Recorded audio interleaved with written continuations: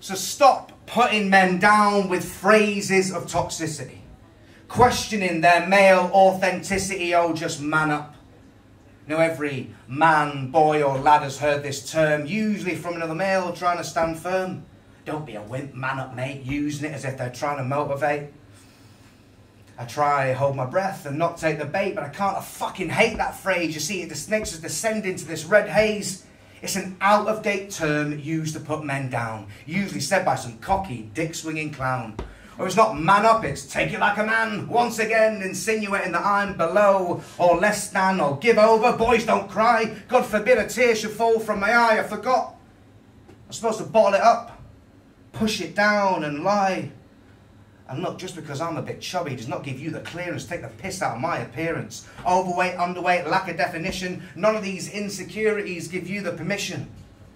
And if I tell you to stop, don't call me a soft wanker. Listen, talk, and don't pass it as banter. See, this is a really tough time for men, especially with male suicide rates rising again. They're at the highest peak in over a decade. Don't believe me, look online, they're clearly displayed. And look, I'm not saying that these terms are solely responsible because they're not. But we do need to accept, recognise, and realise, and not fantasise that mental health doesn't exist, or it could just end in another statistic or opportunity missed.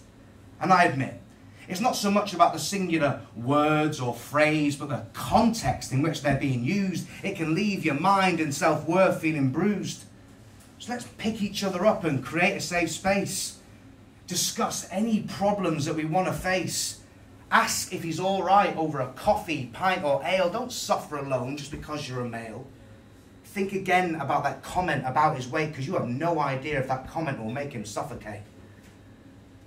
So, this is my plea. Let's take a stand.